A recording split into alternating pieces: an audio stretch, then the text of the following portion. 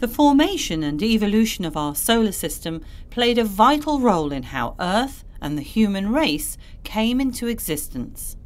Since comets are remnants from our early solar system, the Rosetta mission is updating and informing our scientific understanding by studying comet 67P Churyumov-Gerasimenko.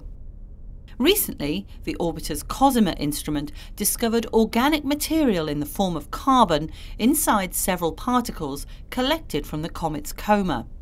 And the type of carbon was more complex than expected this carbon was compared for us with a lot of meteorites material that we had uh, measured with a, a, copy of the instrument on ground, our reference model of the instrument, and we tried to find what is the best match. And the best match is uh, actually what we found in very few meteorites, in the Orgueil chondrite, for example, which is a, a meteorite which is thought to maybe come from an extinct comet. So that would be the best match. But even in our meteorite collection, we don't have any material looking like like what we have at the comet. So this is really special and it's only on some particles. Rosetta has detected small organic molecules in the form of a gas, but only these larger carbon bearing molecules in dust particles. Linking how and where these different sized organic molecules formed and combined with the comet is ongoing and hints at comets having a complex dynamic history. Along with Cosima and Giada, the Midas instrument has also been collecting particles, but Midas is concentrating on those smaller than 50 micrometers, so small that they can't be seen with the naked eye. And one of these particles had an unusual, repeating, fractal like structure seen for the first time in a comet.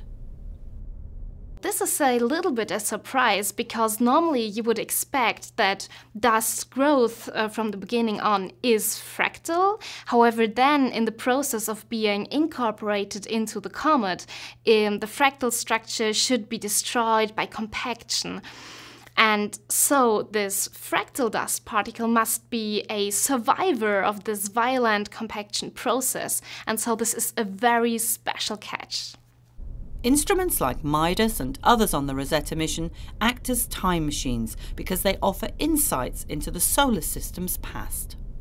It's really pleasing for me as a project scientist to see how the results we have on Rosetta are being put into context of how the solar system evolves. And in fact, broader than that, when talking to the broader astronomy community, you see that they're considering what Rosetta has done or is doing in other solar system. So saying, well, we see this cloud of dust and gas and we have this context measurements from Rosetta, maybe this is how this planetary system is going to evolve, etc. And also for, for our own system as well. So it's really, really fantastic to have this data set and it has massive implications.